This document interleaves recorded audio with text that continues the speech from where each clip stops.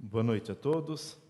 Às 19 horas e 5 minutos do dia 18 de maio de 2016, na sede da Câmara Municipal da Estância de Bragança Paulista, situada na Praça Afsa Bichedid, número 125, declaro aberta a oitava audiência pública do Poder Legislativo Bragantino, no presente exercício, convocada pelo edital 73/2016, constando da pauta a seguinte matéria: Projeto de Lei Complementar número 12 de 2016, do prefeito Fernão Dias da Silva Leme, que autoriza o Poder Executivo Municipal a alienar os bens imóveis que especifica, na forma e condições que estabelece e dá outras providências.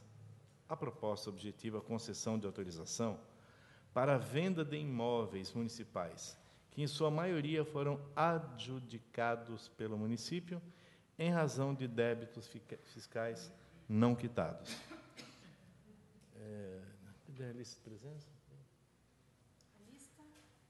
Então, queremos registrar a presença da vereadora Rita Vale, da nossa assessoria aqui na casa, Fernando, Kleber, Jaqueline, Gabriel e Marcelo, do Rafael, da Prefeitura Municipal, assessor de gabinete, do Gerson, que é cidadão, e da Casa Pimental, nossa secretária de governo.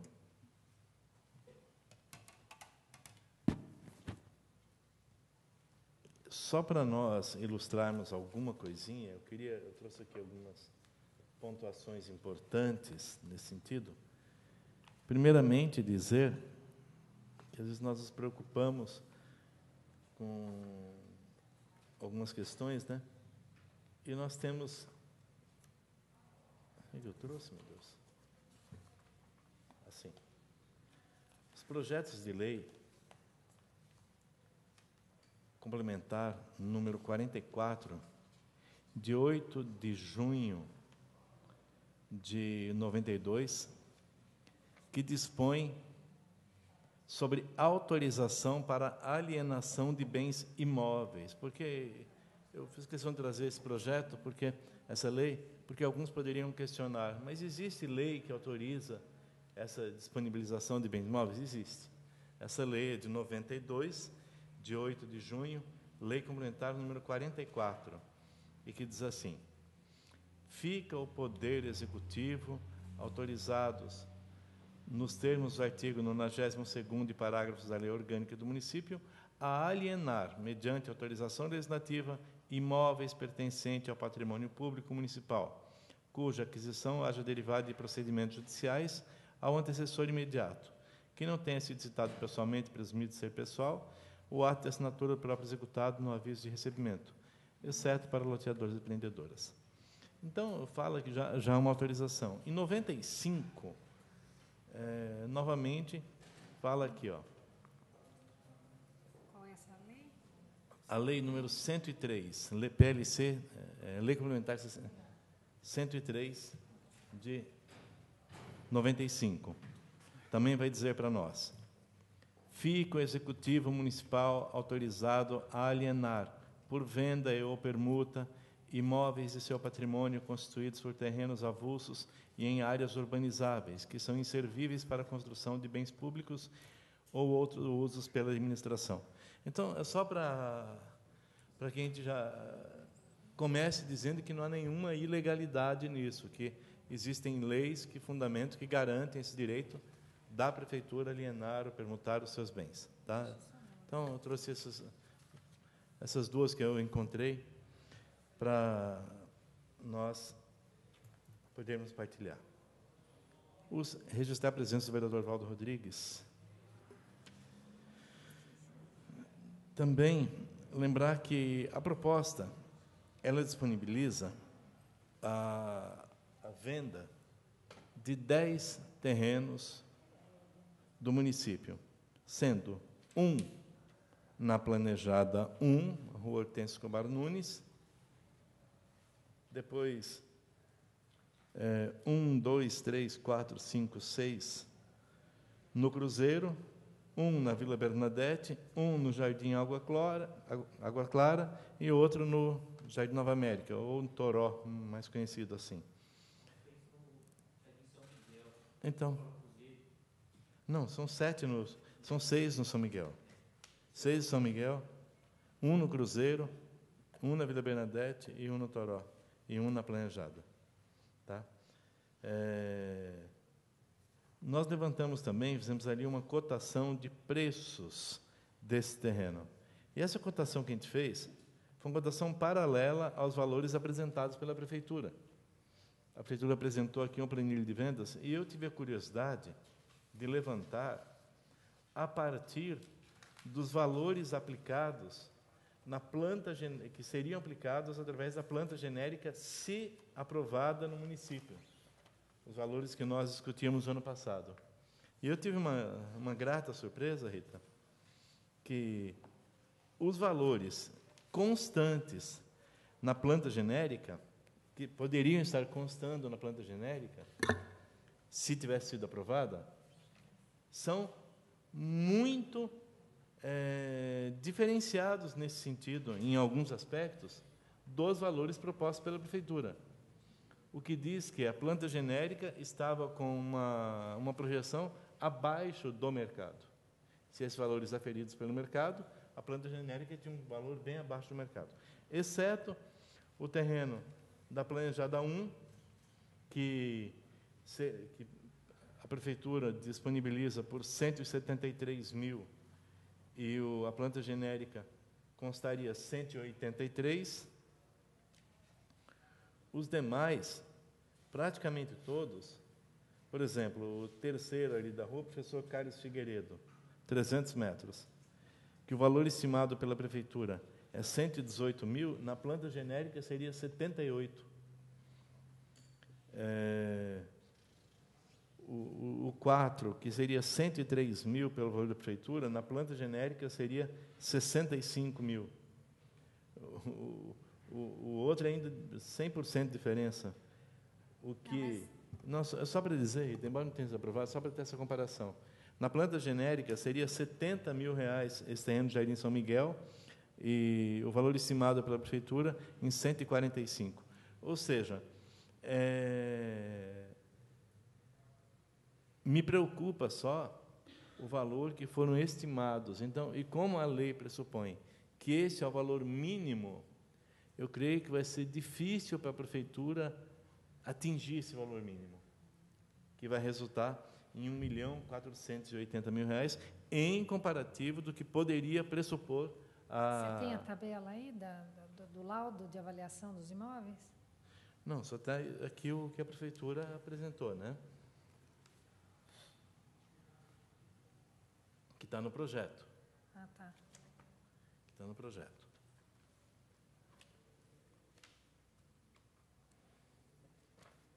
Tá, é que eu, eu não, desculpa, eu não tive acesso a esse. Tá, essa planilha. Essa planilha. Marcelo, depois você pode ver para mim, por favor, uma cópia da, da, do, dos valores do, não, do, do, do projeto. Do, projeto integral, por tá. favor. Então, eu queria abrir as palavras. Eu palavra para o Valdo e para a Rita, alguma questão, depois abrir a toda a comunidade, a, todo, a, to, a todas as comunidades aqui. Pois não. Ladies first. Pois não. boa noite a todos, boa noite, é, senhores vereadores, é, público único presente. Gerson, eu queria parabenizá-lo já pela sua insistência realmente na, na presença aí das, das, das nossas audiências públicas, porque realmente eu acho que é, não importa a a conciliação ou o resultado final, mas você está sempre presente, persistindo, e eu acho que você exerce realmente o papel de cidadão. Então, parabéns mais uma vez pela sua presença. Ah, agradecer a presença dos colaboradores da casa, Rafael e Cássia. Ah, o, o projeto começou a tramitar já na Comissão de Justiça. E nós tivemos um, um parecer, eu creio que vocês tiveram acesso a esse parecer. E houveram algumas indagações, inclusive, e foi feito um pedido de informação para que vocês pudessem elucidar algumas questões que não estavam muito claras. Tanto que é, a princípio, o projeto, o relatório era pela rejeição, no mérito, não na legalidade. Porém, o, o presidente da comissão, o vereador Marcos Vale, ele pediu que fosse suspenso uh, temporariamente essa, esse relatório do vereador Gabriel para que a gente pudesse ter as informações, o retorno dessas informações uh, à casa. E eu não sei se vocês já têm essas respostas uh, sobre o, o, o, relatório que foi feito, sobre as indagações, né, que haviam dúvidas do projeto. E eu acho que seria importante, inclusive, porque como tiveram algumas coisas que não estavam muito bem explicadas, até para a população, para quem nos assiste, para que a gente possa dar esse retorno é, do, do, questionamento.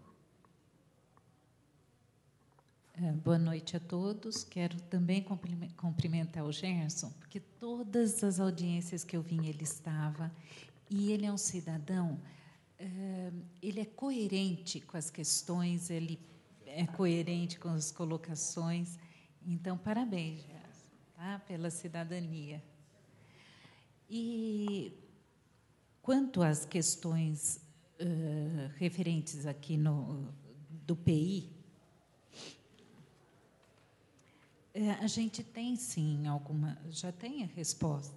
Né? Talvez não se for alguma coisa em valor e tal, a gente pode até não saber direitinho, assim, com os números.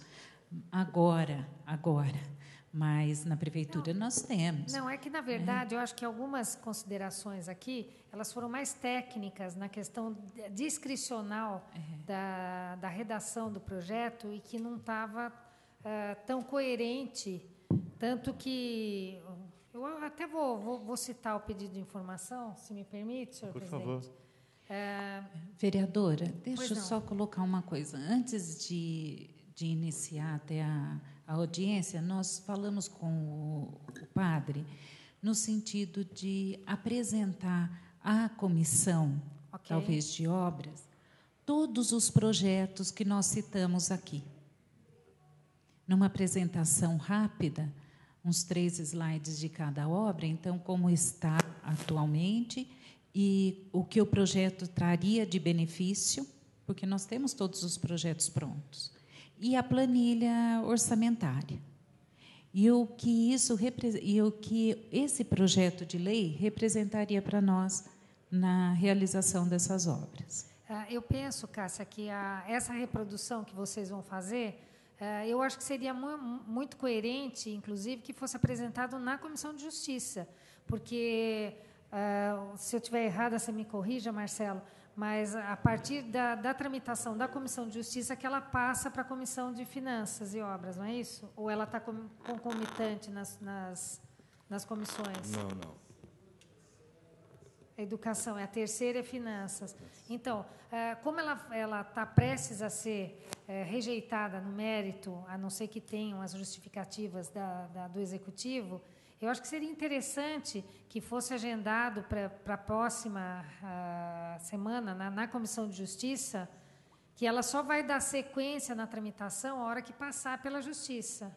Então, acho que seria interessante já vir com essas respostas, se você puder até mandar com antecedência e já fazer uma agenda com a, o, o, Departamento Legislativo para que inclua na pauta da, da comissão, a partir desta audiência pública, pela proposta feita pelo Executivo, que seja explanado também eh, na Comissão de Justiça. Eu acho que todas as comissões mereceriam esse, esse aval do Executivo para que se colocasse para todos os vereadores que participam das comissões ah, esse respaldo, inclusive, é, de direcionamento das obras. Porque esses projetos, eu vou passar para o Rafael, o Rafael é arquiteto, porque esses projetos foram feitos, foram estudados pela Secretaria de Obras, com o Rafael à frente desse, desse projeto. Então, a gente tem condições de falar, não foi feito pelo Google, claro. então foi feito com levantamento em loco, então, a gente tem como falar. E o porquê de cada serviço a ser executado? Eu vou falar um pouco da história do porquê dessa necessidade que a gente tem de captar esse recurso. É, quando eu, eu, cheguei ali no meio do ano, do ano passado para a gente fazer uma avaliação dos projetos que nós tínhamos em relação aos convênios, que a maior parte deles são convênios, né? ou com o governo do Estado ou com o governo federal. A gente, inicialmente, nós tínhamos é, valores de contrapartida muito elevado né, nos, nos, desenvolvimentos dos projetos originais que já, tavam, que já tinham sido aprovados. E a gente já estava num, num processo é, financeiro que exigiu com que nós pegássemos todos esses projetos e revisássemos todos esses projetos que estavam já elaborados e que ainda não tinham sido licitados.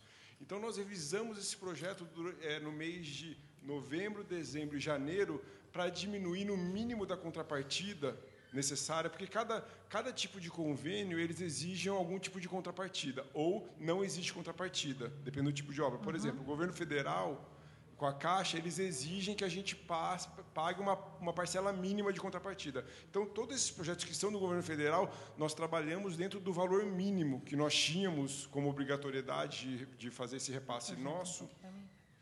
E, e, e refizemos todos esses trabalhos. Na hora que nós fomos começar a pôr esses projetos na rua para a gente licitar, a gente viu que a gente não tinha esse dinheiro como dotação nosso. Então a gente foi obrigado para que a gente usasse essa verba que nós estamos recebendo, uma verba de valores altos, para que a gente não perdesse esses recursos, a gente foi obrigado sim a vender e levantar esse um milhão e pouco, que talvez a gente consiga, para a gente não perder uma verba muito maior do que uhum. desse um milhão. Então, é uma responsabilidade nossa que a gente está fazendo, não é uma responsabilidade. Infelizmente, a gente está tendo que vender bens públicos para a gente fazer esse tipo de coisa. Mas eu acho que seria muito pior se nós não fizéssemos isso. Uhum. Né? Então, é, tem uma coerência no trabalho. O que eu acho que tem que ser feito, que daí a gente estava conversando, o José Mildo era o quê? A gente apresentar esses projetos e mostrar o histórico deles para justificar o porquê que a gente está fazendo isso. A gente não tem problema nenhum de fazer isso. Dentro desses todos, agora eu vou listar um por um, que cada um tem uma história. Né? Eu, só, eu só queria, assim, a, costurar com você a questão que, veja bem, a, quando o projeto ele, ele é apresentado, como, como foi aqui, eu, agora eu estou tendo a, acesso aos às escrituras e às fotos, tudo, tudo, normalmente, talvez poucos vereadores saibam das contrapartidas e específicas, inclusive, de cada projeto. Inclusive, a mídia tem, tem colocado bastante, é, com bastante veemência aí, é, e talvez até com, com vendo de, de má fé a questão, porque falando que a prefeitura precisa vender é, para recursos que já estão no município. Eu, eu, eu sei que eu tenho acompanhado os recursos do DAD nós estivemos, inclusive, na Secretaria de Turismo do Estado de São Paulo para a gente rever é, todas as questões de auditoria e de, fiscalização desses recursos. E a gente sabe, a gente não, eu sei, e talvez alguns vereadores saibam, mas talvez nem todos saibam, dessas peculiaridades das contrapartidas de cada projeto. Porque muitas vezes passa-se para a população, veio o recurso do DAD de 6 milhões de reais para o Colégio São Luís, ou veio o recurso do DAD 2012, 13, 14 para o Lago do Tabuão. Só que é, desconhecem as contrapartidas que o município, inclusive, ele tem que elencar isso numa lei orçamentária para poder fazer, ter essa retaguarda financeira para poder executar esses projetos. E sem contar com as surpresas que, que aparecem na hora da obra. Com certeza. Então, e, a gente, e a gente sabe que... Né, que que são inesperadas e você tem que daí entrar com recurso do tesouro para fazer para fazer aquilo acontecer a primeira fase a segunda e a terceira se for o caso né é e, e, e geralmente no caso do Lago do Tabuão onde a gente tem aqui várias uh, várias uh, vários direcionamentos para complementação das contrapartidas eu creio que uh, pouca gente sabe também que existem recursos e que estão congelados ou estão uh, esperando essa contrapartida acontecer de gestões passadas, que elas vêm sendo acumuladas para essa gestão que está acontecendo e que você não pode resolver uma fase seguinte sem resolver a anterior. Como é o recurso do Lago do Tabuão. Se não me engano, são três, três recursos, então, né? É, por enquanto são dois, a gente tem uma previsão. Mas tem uma previsão de, de, de, inclusão de mais um. Só que você não pode nem incluir uma terceira fase se nem você complementou e, e prestou contas da primeira fase. Então, é, é interessante que a gente que seja colocado em ata isso da audiência, porque esse desconhecimento, talvez, uh, acarrete toda essa especulação e, e, e, a não justificativa da gente estar tá podendo aprovar e dar seguimento para esses para esse projeto de lei que foi apresentado na casa. É, eu só queria antes registrar a presença do Almir de Oliveira Franco, né, que é professor, Secretaria de Educação, e também do, do Bonadia, Carlos Alberto Bonadia, da Bonadia Imóveis, corretor, né, que está aqui conosco. Bem-vindos. Depois nós, nós vamos já abrindo a palavra se houver alguma dúvida no projeto, fique à vontade para se manifestar. A gente só pede, o Carlos e Almir, que, por favor, quando se manifestarem ao microfone, sempre citem o nome por questão de ata, para registro em ata, tá bom? É, com questões de esclarecimento, Cita, dos pedidos de informação, você podia passar quais são os, as questões e se já houver alguma resposta tá pronta bom. já eu acho que são questões mais de, de redação e técnicas, né? Se puder, eu passo um por um e vou falando a história de okay. um por um. Uh, eu, eu só não sei, uh, eu estou olhando aqui o, o compêndio do, do, projeto, Rafael.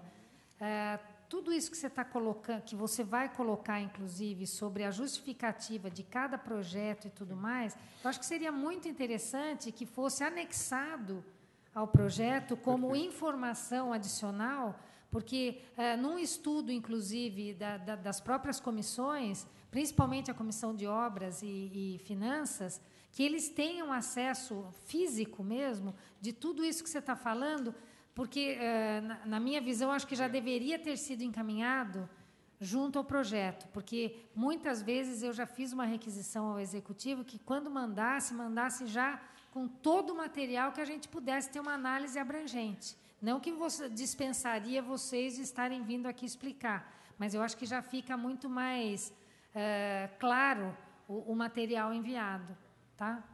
Então, o que eu vou colocar aqui vai ser uma verbalização de todo esse processo, mas como a Rita falou, acho importante a gente anexar e apresentar para a população também as peças técnicas, projetos, planilhas, que elas que vão justificar o porquê disso, na verdade. Eu vou fazer um histórico de cada um deles só para a gente ter uma ideia do porquê disso, né?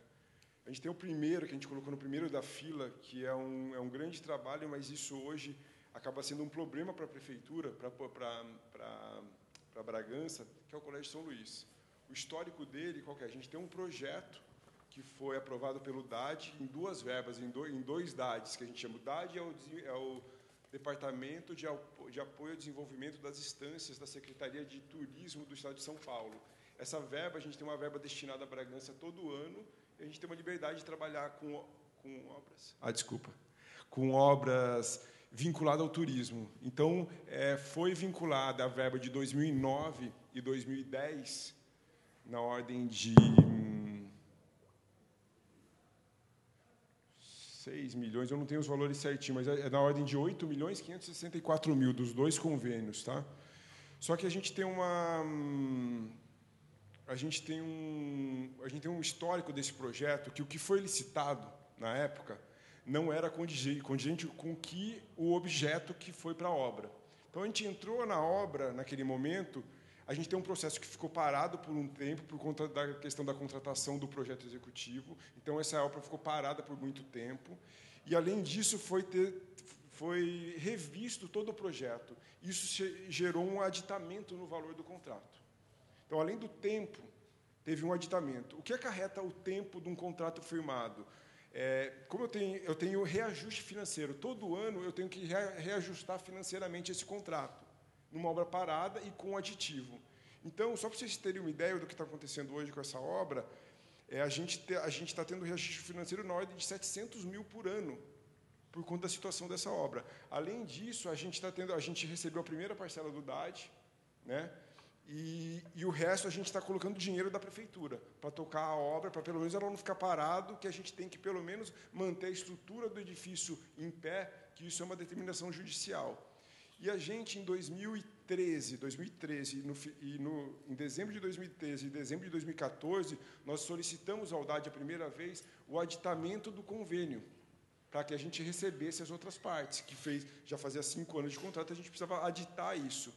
Isso está até hoje no DAD, foi uma das reclamações que a gente foi fazer nessa reunião. Está até hoje no DAD, estava na, na, mesa do governador, para ele assinar esse aditamento para a gente, só que por, por conta de uma, de uma falta de avaliação do DAD, ele voltou para o DAD, para a parte de finanças, para ele a, avaliar a nossa prestação de contas e, re, e voltar para o governador para ele assinar isso para a gente. Então, essa demora no aditamento do convênio e na demora desse repasso do governo do Estado, está acarretando um prejuízo para o município gigante, na verdade que a gente precisa acabar essa obra o quanto antes para que isso não gere mais ônus para o município. Então, nossa briga com o DAD está gigante para eles editarem isso, pagar a obra e a empresa vai tocar essa obra rapidamente para acabar rápido isso. Porque, senão, cada ano que passa, a gente precisa fazer um reajuste financeiro gigante, que chegou na ordem agora, a gente vai fazer agora, vai vencer agora, na ordem de 800 mil reais. Então, isso é um problema para o município. Então, esse recurso parte desse recurso vai ser utilizada por conta, principalmente por conta da obra do São Luís. É um dos nossos maiores problemas de obra é o Colégio São Luís. Os outros, agora eu vou passar o. Então, isso eu venho através de números, eu mostro o projeto para vocês, eu explico mais detalhadamente na comissão. Revitalização do entorno do Lago do Tabuão. Nós desenvolvemos um projeto, que esse projeto ficou. A gente usou dois recursos do DAD por enquanto. O de 2012, que era, era um recurso de 3 milhões e 800 mil, e o de 2015, que era um recurso de 5 milhões e 100 mil, mais ou menos isso. O primeiro recurso, nós fomos obrigados a colocar um recurso o, de contra... O segundo é 2013? 2015. 15. 2012 e 2015. O primeiro recurso, nós fomos obrigados a colocar um valor de contrapartida, se não me engano, de 280 mil reais. Esse valor, possivelmente, nós ganharemos no processo licitatório. Quando a gente tem uma licitação, você tem um recuo no valor, um desconto, a gente pode tirar esse recurso do município. Mas isso a gente não tem certeza ainda. É bem possível que isso caia. O da segunda fase, nós não usamos nenhum recurso do município. São 5 milhões e 100 mil exclusivo do Estado. Então, para essa segunda fase, a gente não precisa de dinheiro do município. Só que acontece, no projeto do, da revitalização do entorno do lago, nós tivemos que fazer duas coisas. Uma é, é relocação de um postamento. Né? Então, a gente pediu um orçamento, que está aqui na minha mão, para a Energisa, para ver quanto custa a relocação desse postamento, que nós não queríamos deixar o postamento do lado da ciclovia, onde vai passar a ciclovia e o calçamento, a gente queria pôr para o outro lado. A Energisa passou um orçamento para a gente, e esse valor não pode ser tirado do convênio. Esse valor tem que ser tirado de recurso próprio. Então, nós estamos solicitando essa verba por conta desse orçamento e de um orçamento também da Sabesp, que também é vinculado com a revitalização do entorno do Lago do Taboão, que ali, ao lado ali da, do McDonald's, ali da Fiat, tem uma válvula de retenção da Sabesp. Não sei se vocês sabem onde fica isso ali. Nós vamos ter que mudar o posicionamento dela. Então, nós solicitamos para a Sabesp o custo disso, que isso não vai ser pago pela Sabesp, é uma necessidade nossa, da Prefeitura, de mudar a válvula deles de lugar. E eles mandaram esse outro orçamento para a gente. Então, a, com relação a essas relocações, é, o que foi cogitado também, tanto a nível de imprensa quanto a nível de questionamento na comissão, é que, por exemplo, por isso que eu falo da, da, da insuficiência de informações que nós, porque como é muito técnico, é, que a gente tenha, porque olhando assim a grosso modo, fala relocação de rede Sabesp, revitalização. Quer dizer, Sim. isso da, daí já vem todo o questionamento. Ah, a Sabesp já, já, já ganha muito aí do município. Quer dizer, existem especulações é, diferentes do, do, do, que o objetivo real. principal aqui, do que é real, que fica na especulação e, e perde-se o entendimento do objeto central, que é isso aqui. Então, por isso que eu acho que é, é, esse esclarecimento é super importante, Sim. porque esses questionamentos, principalmente das relocações, porque o, o, os outros a gente sabe que é contrapartida, mas esse daqui, como vai ser uma mudança que foi elaborada junto com o projeto, não está nem na contrapartida e nem no recurso. Então, é recurso próprio que a gente vai ter, além da contrapartida, é um recurso próprio a mais que vai ter que ser relocado para poder fazer esse, essa essa mudança. É que às vezes algumas coisas eu falo aqui do lugar e tal, fica verbal. Na verdade, nós precisamos do, do desenho das peças gráficas para explicar para vocês o porquê disso. Né? A gente tem tudo isso documentado, planilhado, tem orçamento, está tudo redondo para explicar por, por quê. Mas a gente, talvez falta isso, são peças gráficas, a engenharia, a arquitetura precisa disso para ser explicado. Não adianta só verbalizar, porque é por isso que precisa do desenho. Desenho é uma forma de linguagem e comunicação também. Então, só para continuar, então a gente tem essas, duas, essas três que são vinculadas à vitalização do entorno do, do, do lago. O desassoreamento, no momento que nós tínhamos solicitado, a gente a gente está desenvolvendo um projeto junto à Falcão Bauer para finalização do processo de desassoreamento do lago. Nós já retiramos do lago, através do processo que foi feito pela Secretaria de Serviços, cerca de 22 mil metros cúbicos de, de solo do lago. Né? Nós já passamos o que foi determinado no, no projeto da, do, do, IPT.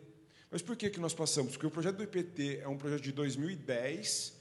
Durante esse período, porque o, o processo de assoreamento é um processo contínuo. Mesmo em áreas não, não, urbanizadas como a nossa, ele acontece. Em áreas urbanizadas como a nossa, como a montante do Lago Dado Bom, ele acontece com um processo bem grande. Tem estudos que, que falam que pode se chegar a 7 mil metros cúbicos por ano, o que está chegando no, de solo no Lago Taboão. Então, foi desenvolvido um, um projeto, depois de que foi tirado esses 22 mil metros cúbicos de solo pela Falcão e foi apontado o volume de solo que nós temos que tirar agora, que são que são e, e aonde tem que ser retirado. Que agora nós precisamos tirar pelo projeto deles 8.500 metros cúbicos. Daí o que nós fizemos? A gente pegou um recurso do DAD de 2014. Esse é 2014. 2014, que era para a construção do estacionamento do céu, que é ali na frente do posto de monta. Ou, ou a construção do céu, nós não temos certeza se nós vamos receber esse, esse convênio do governo do Estado ou não. Então não adianta eu fazer. É do Estado.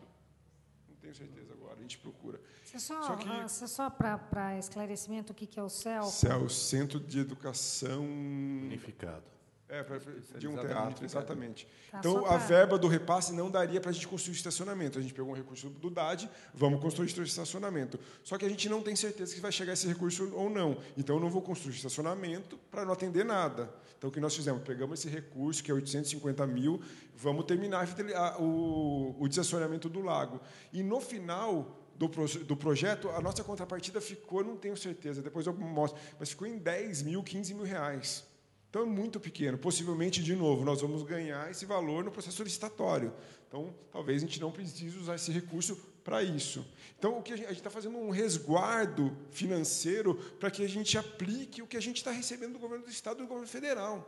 Na verdade, é só, uma. Só me explica uma coisa: esse desassoreamento do lago nesse quinto item, Hum. Ele, é de, ele é de 2014, é recurso do DAD de 2014? Exato, exato. Tá. Porque é, existe uma confusão também, é, é, bom explicar, que quando você fala de revitalização e desassoreamento, são dois objetos diferentes, Sim, ok? É, e, e, muitas vezes, eu, eu não sei como é que foi a adequação da mudança de objeto para que se concluísse primeiro um processo para você dar continuidade ao outro processo. Sim. Porque não adianta você revitalizar o lago se você não desassoria ele primeiro.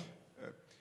Ou é... se pode ser feito concomitante. Tá, só vou explicar o que é uma revitalização do entorno, só para a gente deixar mais claro. A revitalização do entorno, na verdade, é uma obra de infraestrutura urbana. O que é uma obra de infraestrutura urbana? É refazer a via, o leito carroçável do carro, é refazer estacionamento, fazer ciclovia, fazer calçada, é refazer as praças, iluminação, mobiliário, uma série de elementos do entorno do lago, que você não entra no lago. Bancos, lixeira, bicicletário. Na verdade, é um parque linear em torno do lago. Né? Exatamente, um. Exatamente. O que acontece hoje com o lago, todo mundo sabe. A gente a gente vê a necessidade, não só no lago, mas de vários, várias áreas verdes na cidade, de ser revitalizada. O lago, hoje, o dimensionamento de calçada, de via, é muito aquém do que a gente vê a necessidade do dia a dia. Então, você vê andando gente no lago, tem uma calçada de um metro e meio de, de largura, você vê gente andando a quase quatro metros. Você vê que tem um monte de caminho de grama pisada, que são as pessoas andando. Então, a gente quer suprir essa necessidade com pavimentação, além de fazer uma ciclovia na volta dele inteira. Então, por isso que essa aplicação financeira que é, é grande, na verdade, mas é um bem que a população inteira usa. Né? Então você vê que tem uma deficiência, tem uma, tem uma briga viária muito grande, você tem duas mãos, a gente quer reduzir isso. Acho que tem, isso tem que ser aplicado, tem que ser mostrado em projeto. Isso é melhor ser apresentado em projeto. E o desassessoramento é tirar o solo que está entrando dentro do lago, que é o que foi feito já pela Secretaria de Serviços. O único vínculo que eu tenho de uma obra com a outra, o que, que é? É onde eu tenho que depositar o solo. Né? Que a gente só tem uma área para depositar o solo que nós vamos tirar, que é aquela baixada que a gente tem, onde era quadra de basquete, onde já foi depositado o solo. Nós não temos outro lugar para depositar esse solo, o que torna o trabalho muito difícil, porque eu tenho que tirar o solo, deixar ele secar um pouco, pôr ele em caminhões e levar ele para um, um, depósito. Então vocês viram como que foi isso naquele primeiro momento, a gente vai ter que refazer num volume bem menor, mas nós vamos refazer isso e vai ser através de um processo mais delicado, um processo de dragagem. Não vai ser feito como nós fizemos com a PC, que foi um projeto, um processo mais bruto. Nós vamos pegar uma draga, vai entrar uma draga dentro do lago e, e através de várias sessões elaboradas no projeto, a gente vai seguir esse projeto para que não tenha risco de rompimento das margens. Então, tem um critério para ser feito esse, esse, final desse processo. Então, nós vamos usar aquela baixada para depositar o solo, para depois a gente urbanizar aquela baixada. Então, é, eu, eu... Só, só ia entrar nesse mérito, se bem que nós estamos entrando já na questão técnica, que nem é pertinente, mas só para falar. Foi pensado fazer o processo de sucção, não foi... Uh, é isso, é sucção. É uma sucção através de uma draga. Mesmo. Exatamente. É uma sucção, é, é uma. É um...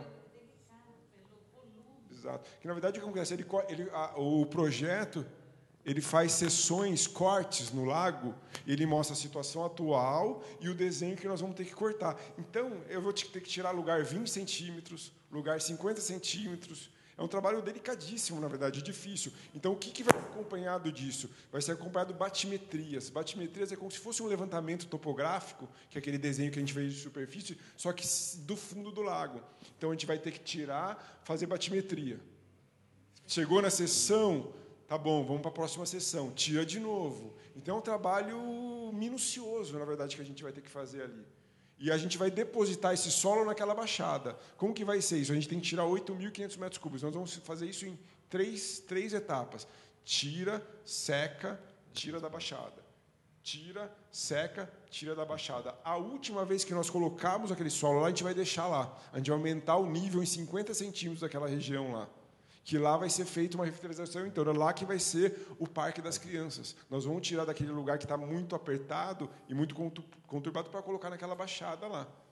Então, a gente tem que esperar esse movimento desse processo, que a gente está em aprovação no DAD, a gente mandou documentação hoje, o final da documentação hoje, para a gente fazer concomitante. Só que acontece, a etapa 1 de obra, eu tenho, que não, não entra nesse, nesse espaço, eu tenho sete meses de obra. A etapa 2, eu tenho um ano e meio, um ano e oito meses. Então, eu posso esticar e parar, esperar aquele lugar para eu fazer o processo de assessoramento, que é uma obra mais rápida, para depois urbanizar. Então, eu vou ter obras concomitantes ali acontecendo. Além dessa obra, só para complementar, já que a gente está falando do lago, a gente vai ter um trabalho de, de reforma do Minimis, que era um projeto do OPE. A gente sobrou um recurso do DAD de 130 mil, a gente já estava com esse projeto pronto, a gente caminhou, foi aprovado, a gente vai ter esse trabalho lá também, que vai ser adequado para fazer um, um cinema, né? um pequeno cinema ali. É, eu quero só registrar a presença do vereador Paulo Mário. Boa noite. Obrigado pela presença. E eh, depois tem a questão ali do, da 9 de julho, tá. imigrantes e Lago do Moinho, e Ípica. Bom, eu vou, eu vou cumprimentar. 9 de julho. 9 de julho é um processo também do DAD, que é a revitalização de praças e parques. É, um processo, um, é o DAD 2013. Foi aprovado dois objetos junto, que é a revitalização do Jardim América, que está acontecendo, essa obra, e a revitalização da praça. Esse projeto da praça tinha uma intervenção no sistema viário grande que nós vamos re, é, revisar esse projeto. Nós vamos pegar esse projeto, nós vamos revisar, reaprovar isso no DAD para refazer esse, esse trabalho. Então, nós não sabemos se a gente vai precisar de contrapartida ou não. A gente vai trabalhar para que não precise. Mas nós colocamos aqui, vai que caso precise de 50 mil reais, 100 mil reais, eu já tenho garantia de onde vem esse recurso. Então eu não tenho, eu não tenho a certeza agora se eu vou precisar ou não. Nós estamos trabalhando para que não precise. Todos os projetos novos nós estamos trabalhando com o mínimo de contrapartida. Mas a engenharia não é tão exata, não é um trabalho financeiro. A engenharia dá uma resposta de um projeto em orçamento. Então, eu não tenho a certeza agora. Tá? Recap da Avenida dos Imigrantes. Esse trabalho é, é uma conquista nossa agora também, é importante. É um DAD 2011, que foi feito aqui na a, o recap da Imigrantes, que foi feito no, na, durante a eleição do passada. Sobrou um recurso, que esse recurso ficou aplicado na prefeitura, ele está na ordem de um milhão e pouco. Nós fizemos um projeto também para imigrantes, que é um trecho da Imigrantes ali para frente, eu tenho isso em desenho, e a gente vai fazer, está aprovando isso no DAD também para o uso desse recurso, estava com a gente, eles vão, eles estão permitindo que a gente usa para a gente é, refazer um trecho da Imigrantes, com troca de base, recap novo, deixar a avenida do jeito que ela tem que ser feita. Esse daqui, no momento que nós tínhamos feito isso aqui, a gente achou que a gente usa a contrapartida, mas no projeto que nós fizemos não vai precisar. Tá? Então, a gente é um, é um, trabalho que, às vezes, vão lá, esqueci de trocar uma guia do projeto, ou um trecho, estou com uma guia quebrada, uma sarjeta. Putz, vou ter que usar 10 mil reais. Porque eu tenho de onde tirar. É uma, é uma margem que eu preciso ter em construção civil. Né? Se eu não tiver uma margem, é quase impossível de trabalhar, por mais perfeito que seja o projeto. Ele, é, é todos esses, esses itens aqui têm o valor especificado ou ele está generalizado? Não, o único que eu não tenho o valor fechado, que eu preciso fazer o projeto inteiro, completo, é 9 de julho. Todos os outros eu tenho redondo, tudo. Tá, eu, é, o que acontece? Foi feito um conceito urbano que a gente começou a questionar lá dentro da prefeitura. A gente fez uma reunião técnica, a gente questionou. Então, a gente acha que tem que ser refeito o sistema viário para a gente concordar com o que está sendo feito no Lago Tabuão, que a gente está fazendo uma mudança no sistema viário no Lago Tabuão que, que concorda com a... É uma peça única, na verdade. Os projetos urbanos eles não podem pensar de ser pensados de maneira isolada. Então, quando a gente pegou o projeto do Lago Tabuão para ver, a gente viu, viu que a gente precisava repensar aquele projeto da 9 de julho. Então, a gente abortou o processo licitatório para que a gente refizesse o projeto e fizesse ele dentro do que a gente estava pensando para o Lago Tabuão para essa então, conexão. Assim, nessa, nessa soma total de 1 milhão e 400, que seria uma, uma perspectiva da venda dos imóveis, uhum. no caso desse daqui que ainda não tem valor e que ainda é, é uma projeção, Sim. será que não seria conveniente, por, por ser um projeto de lei, já estar tá especificado com os objetos, ser retirado isso? Pode ser. É, é uma sugestão, porque é, a hora que, que você for apresentar a hora que você for apresentar nas comissões, inclusive, pode haver até esse questionamento. Perfeito. E já estou me adiantando com uma sugestão, porque é, tudo aquilo que não está especificado é, fica, fica meio solto. Perfeito, perfeito. E, e, e, geralmente é colocado como se dá cheque em branco para o executivo. Então, para não incorrer nisso, talvez seja mais prudente que esse que não está é, previsto e que tem alguma coisa já determinada pudesse ser. Sim. É o que eu quero deixar claro que todos os trabalhos que nós fizer, a gente faz ali dentro é, de, é público, na verdade. A, a, hora que vocês quiserem, qualquer esclarecimento de qualquer trabalho, a gente expõe não, tudo não, que está acontecendo. Não, não, não é nem esse questionamento, eu entendo, eu entendo. mas como ele está vindo como uma lei específica para casa, então acho que fica mais, mais transparente e mais é, simples de, de, de entendimento. Né? É, para a gente poder ter. É, é que a gente está falando que tinha uma lista bem maior do que está aqui, só que nós acabamos evitando alguns porque a contrapartida era pequena e possivelmente a gente tinha dotação para esses recursos, como a pista de skate, por exemplo, a gente tinha a, gente tinha a dotação que é 25 mil reais de contrapartida, nós tínhamos a dotação e possivelmente a gente vai ganhar esse valor na licitação também. São valores que a gente pode ganhar na licitação, né? Possivelmente ganhe esses valores. Não, eu estou sugerindo tá que já certo. que você está colocando que não tem uma estimativa, pelo menos já fica Perfeito. mais é, então já, já é um ponto para ser revisto. revisto. Então, só para continuar, então, a urbanização do Lago do, do Moinho é da, da UAN, que na verdade é uma, um repasse do governo do Estado, através de emenda parlamentar. É uma, uma parte, a fase 1 é, da urbanização do Lago do Moinho. Nós tínhamos aprovado esse, proje esse projeto já há um tempo, e a gente tem uma dificuldade muito grande de, de, fazer uma revisão de projeto na UAN, na URM. Então, nós achamos por bem assumir. Esse foi o único projeto que nós assumimos a contrapartida que veio lá de trás. Porque a gente achou que se a gente fosse revisar, ia demorar muito. Então, a gente vamos assegurar o recurso, o repasse, que eu acho que é de 500 mil, não tenho certeza, mas acho que é isso, para que a gente não perca esse recurso e toque essa obra. Então, esse, esse daqui é a maior contrapartida nossa desse, sem, sem contar com o Colégio São Luís, é, um, é uma contrapartida de 128 mil reais, se não me engano, 126 mil reais que a gente tem. Tá? Que é o que a gente não revisou o projeto, por conta do tempo de reanálise que nós teríamos no governo do Estado, que, nesse caso, ia ser lento. Além é. disso, lá tem também a outra parte que é do governo federal. A é fase 2. Da emenda do Marcos Feliciano, se não me engano. É, eu não lembro. Sim, sim. É o que tá, tá até retomou a obra agora, né? Eles estão estão terminando que é, resolver o problema que nós chamamos de glosa lá do negócio, eles estão retomando. Então essa parte é fundamental. Na verdade, essa parte dependia de uma ação nossa da fase 2 que está em execução lá. Então a gente pode fazer essa obra sem problema. A, a, só voltando, só a, a contrapartida do Colégio São Luís, a primeira de quanto é? Não, a gente, nós temos, vamos lá, valores de, do colégio, só para a gente ter uma ideia. Então, Conveniado, nós temos 7 milhões, a gente não tem isso, a gente só recebeu uma primeira parcela, tá? A gente, a gente tem conveniado 7 milhões 792.998. De aditivo, que daí vai para a conta da prefeitura, nós temos, isso já tem parte disso já foi pago, tá? Só para a gente ter uma ordem de grandeza. 1.771.855 reais. De reajuste financeiro, nós temos do contrato 232.752 e do aditivo 55.568 reais. Tá, esse, na verdade, o maior problema nosso é essa obra. É um problema. Isso tem que a gente tem que acabar, acabar essa obra o quanto antes. Que é porque é um quanto mais pro, tempo pro, vai passando, mais você paga o reajuste, né? Quero um café. O reajuste. Exatamente. Então, nossa briga com o governo do Estado para ele fazer esse repasse para a gente, porque acontece? Se nós recebemos esse dinheiro do governo do Estado e tocar uma, a, a, gente acelerar a obra, esse reajuste diminui, porque é em cima do, que, uhum. do saldo. Né? Então, é diferente eu ter um, um reajuste em cima de 5 milhões do que de 1 milhão. Então, esse recurso do governo do Estado é fundamental para a gente resolver esse problema que a gente tem e acabar de, de uma vez essa obra, né? que é, é, é, um, é um problema para a cidade mesmo, isso hoje. Temos que acabar essa obra correndo. É, e a última é a urbanização da Ípica Jaguari, que são quatro convênios com o governo federal. O governo federal é um que exige uma contrapartida mínima. Eu não lembro os valores agora, daí eu venho com os valores exatos para vocês depois, aí, na nossa reunião mais técnica, aí, mostrando isso.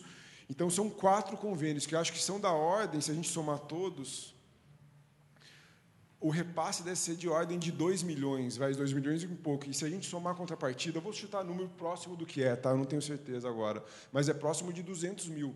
Então, quer dizer, eu não posso perder 2 milhões por causa de 200 mil reais.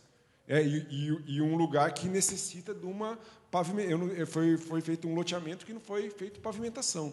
Então, nós estamos, colocando lá drenagem, guia e asfalto. É o básico. Né? A gente tem uma situação dessa generalizada na cidade inteira. Né? Então, ia ser uma responsabilidade nossa a gente não usar esse recurso. Então, nós fizemos uma, uma correria lá, todo o corpo técnico da Prefeitura de Engenharia, para a gente refazer todos esses projetos em um mês, em dois meses, apresentar para a Caixa, a Caixa aprovar isso para a gente, a gente poder licitar isso e não perder esse recurso. Então, a gente trabalhou com critério e acho que com espírito público para a gente não perder o seu recurso. Então, por isso que a gente está solicitando isso para vocês, porque são valores pequenos perto da ordem de repasse que a gente está recebendo. Acho que a gente está falando aqui em ordem de, sei lá, 15 milhões, 20 milhões por conta de um milhão que a gente vai ter que de contrapartida. Então, a gente tem que ter esse recurso para a gente colocar isso no, no município. Ainda mais numa situação dessa econômica que a gente está vivendo hoje.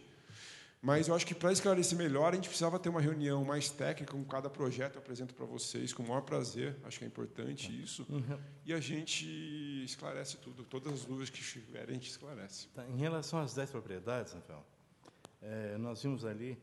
É, eu peguei o projeto completo aqui. Pode pegar aqui. Ele traz toda a especificação técnica, traz fotos do local, traz matrícula, traz eh, valores e, tudo mais, né? para a gente identificar cada uma das propriedades. Em dois, em dois terrenos especificamente, o da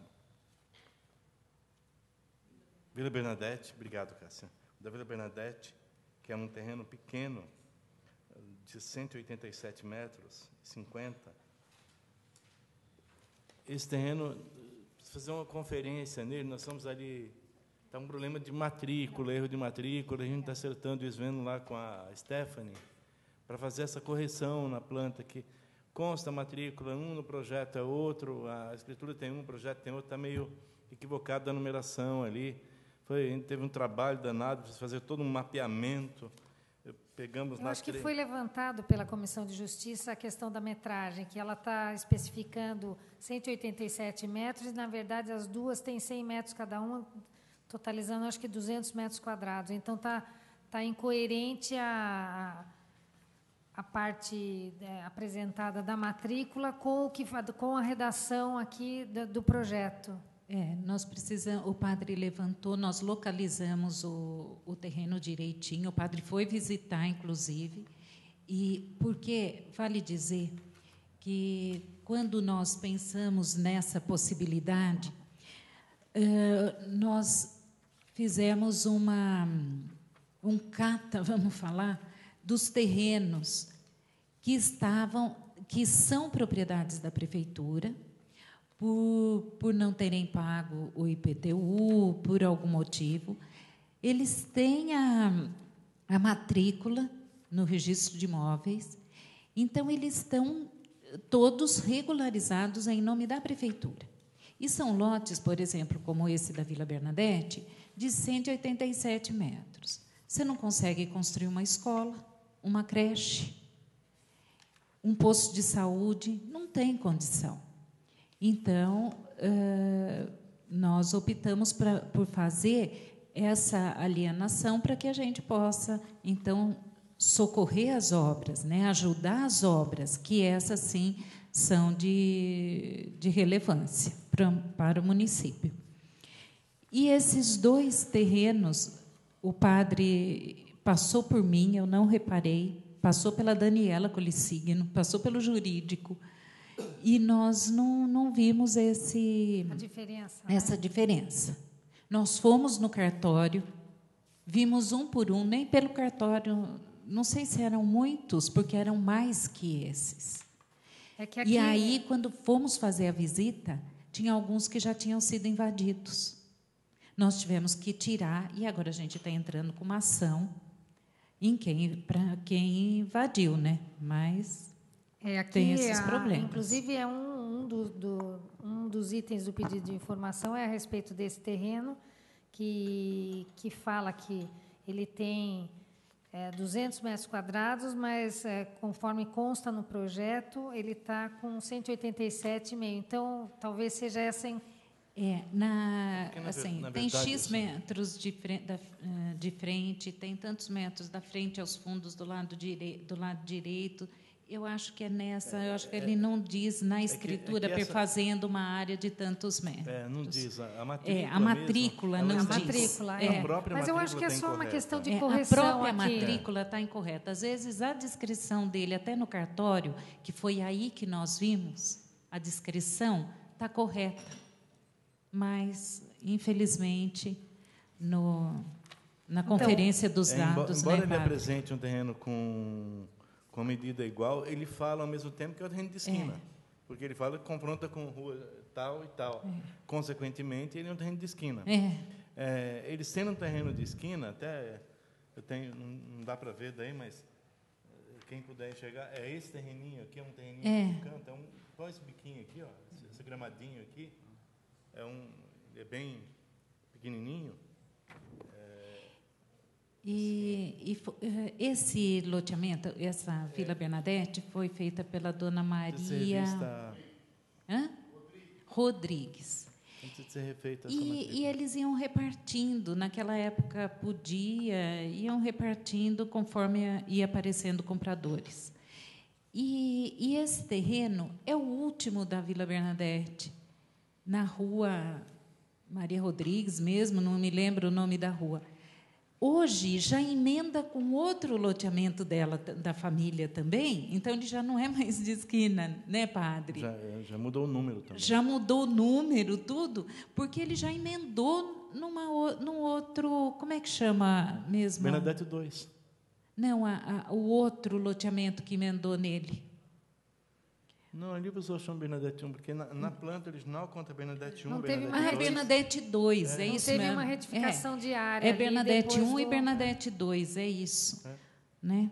E só- Então, você encontra plan- ah, o levantamento, o terreno, a gleba acabando no terreno, e você encontra um outro levantamento, ele fazendo parte, do, já tendo os dois Então, mas, loteamentos. a- mas no caso, se for uma retificação de área, Ah, se é? for aprovado o projeto para fazer a- o leilão de- desse imóvel, ele tem que estar. Lógico, ele tem que- lógico. então, mas E isso é tem uma- que constar. Tem. E é uma, uma retificação de área administrativa e Então, o item 2 que não foi é tão, colocado. tão complicado. Não, e só pela- o outro terreno, Rita? Ah, tem o outro, desculpa. Só o pai. terreno, só para a gente concluir.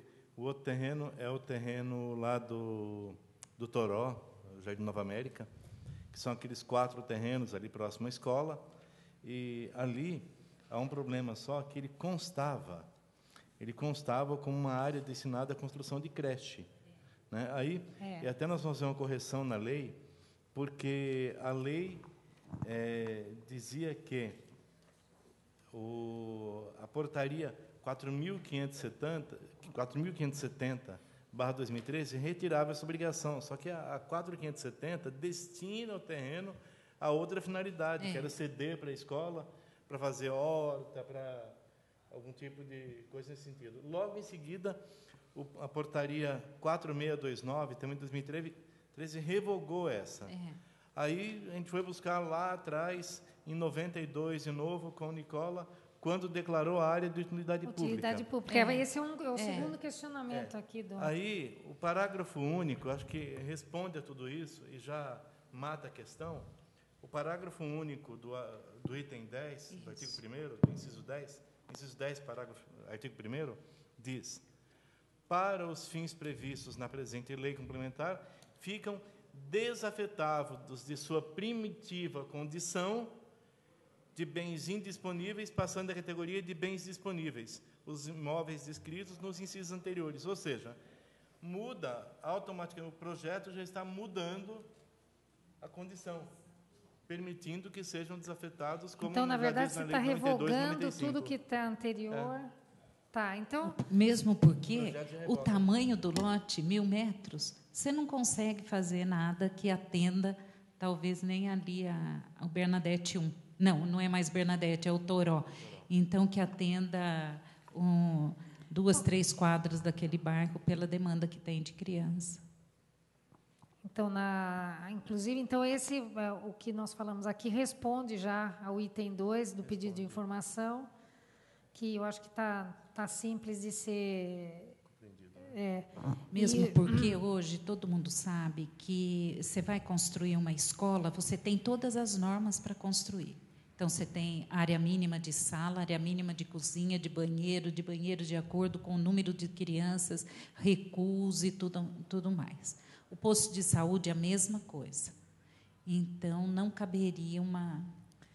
E o seguindo no item 3 é exatamente aquilo que nós falamos no início, que seriam os valores das obras e, e tudo que se tiver é, que tiver referente a ela para como complementação de informação, que é exatamente aquilo que vocês que eu acho que pode deve ser anexado ao, ao projeto para que se fique mais explicativo. Tá. Valdo, uma questão, por enquanto? Paulo, por favor. Depois eu, eu já abro mais a palavra, tá? Eu só queria tirar uma dúvida na sua explanação, não sei seu nome, desculpe. Rafael. Rafael. Você usou uma expressão, nós poderemos ganhar a contrapartida. Você me explica melhor isso, por favor?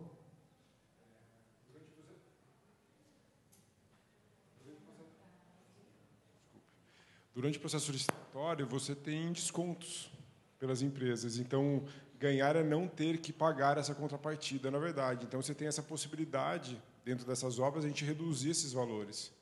né? Então, a gente tem que ter essa liberdade para a gente trabalhar. A gente tem que mostrar que a gente tem essa dotação, teria essa dotação, e durante o processo licitatório a gente pode ganhar esses...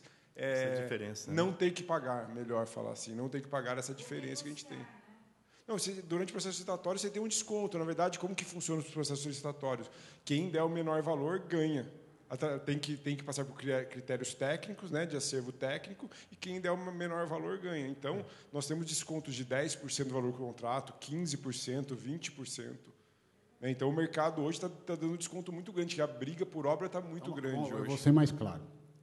A obra custa 500 mil reais, supostamente. Isso. Você ganhou 20% de desconto, ela baixou para 400. Perfeito. Você vai ter uma quarta contrapartida em cima dos 400. Não depende do tipo de repasse, depende do tipo do, do, do órgão. Por exemplo, o governo do estado, o DAD, a gente tem uma, um valor de 500 mil e 100 mil reais de contrapartida, por exemplo. Eu ganho um desconto de uma porcentagem que deu esse desconto de 100 mil, do que era a minha contrapartida. Eu não preciso mais pagar minha contrapartida, eu só vou usar dinheiro do convênio. Então o desconto Isso. vai direto para a contrapartida? No DAD. No DAD. No DAD. E nas outras, como é que você faz? Na caixa, ela é feita é, porcentualmente. Por exemplo, é proporcional. Daí, é, por exemplo, então, na caixa. É isso que eu falei aqui, que vai cair proporcional. É, é a única. Exato. Na caixa, sim, no DAD, não. Ah, Depende do órgão, do, do, de quem repassa o, a verba para a gente. É o único órgão que trabalha dessa forma. Quem?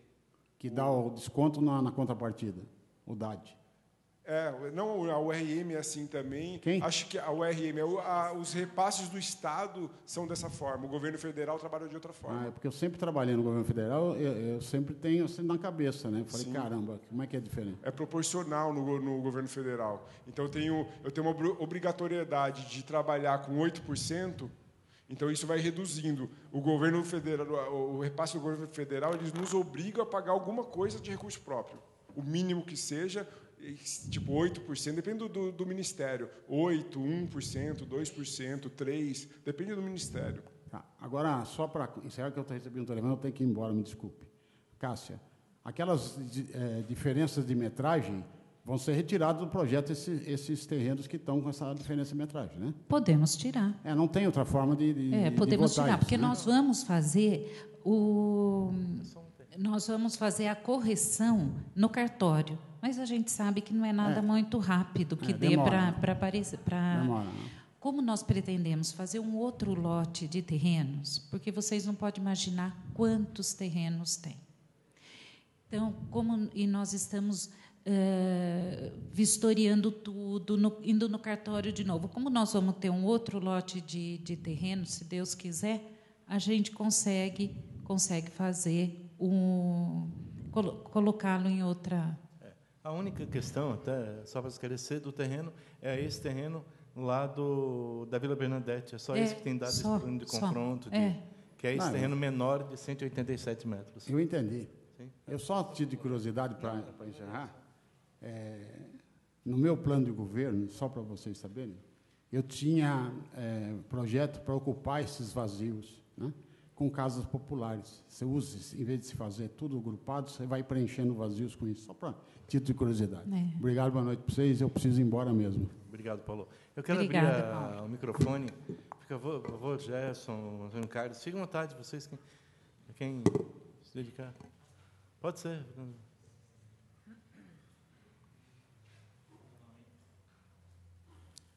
Para cima. Meu nome é Gerson Silveira, moro no Enedina Cortez, estou aqui como cidadão.